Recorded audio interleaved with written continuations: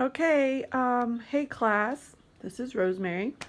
Um, so I have all my materials laid out here.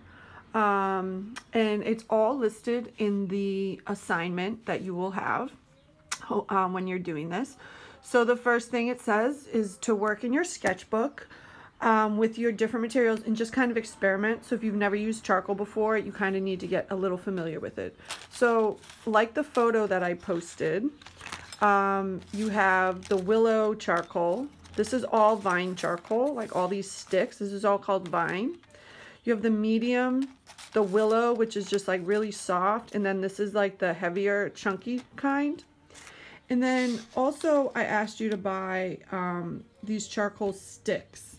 They have different names, different places. They're called past charcoal pastel. Sometimes they're called compressed, but they're just really dark and they come in these like long rectangles um, like this.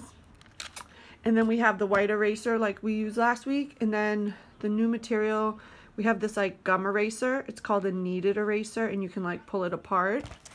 And then you have the chamois, which I know is a, um, when it's written out, you might not know how to say it, but this is what the chamois is. And it's um, used to kind of spread and smudge the charcoal. So the first thing you're going to do is you're just going to experiment in your sketchbook with the different um, with the different charcoal. And I thought I was going to have a tripod by this week's demo, but I unfortunately still don't have a tripod. So you have to bear with me with this shaky video. So I just want you to try the different types of charcoal that there is. You have like this one, you have the medium vine charcoal. Now you're not using it like a pencil like this. You should be holding it like this. And if it breaks, that's normal. Sometimes I usually just break it before I even start. And just, you can see the different um, pressures. You can get different results when you add different pressure. Oops. and you can smudge it with your fingers. You can play around with the chamois. Okay. So you can see like some get really dark and some kind of gets dusty and kind of blows away. The willow is pretty, pretty thin. Um, and then you also have this big stick. Now I told you to get a few different kinds. Don't worry if you don't have all the same ones that I have.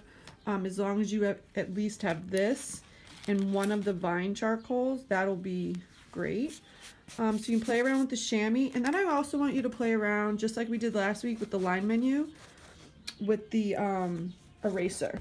So like drawing into the charcoal, which we'll be doing next week, um, is another way of creating marks is by taking away the charcoal, just not by adding it.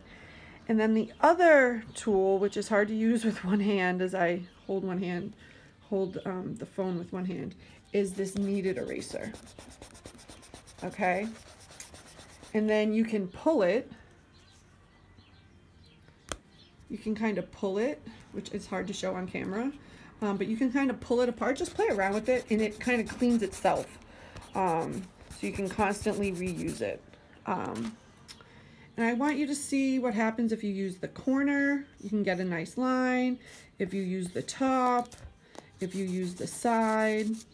Okay, so that is the first step. You should just be playing around uh, material exploration in your sketchbook. So this is the end of video one.